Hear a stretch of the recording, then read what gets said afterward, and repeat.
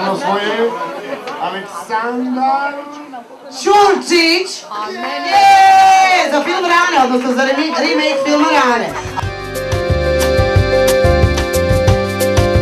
Drugo mesto u kategoriji remake domaćeg filma osvojio je Marko Kovač! Za film Za Walter.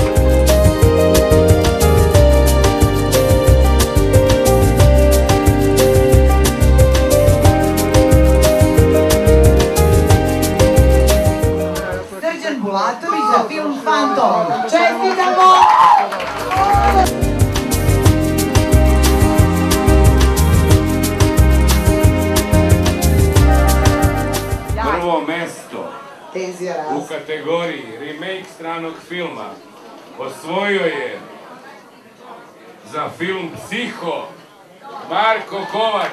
Bravo Marko!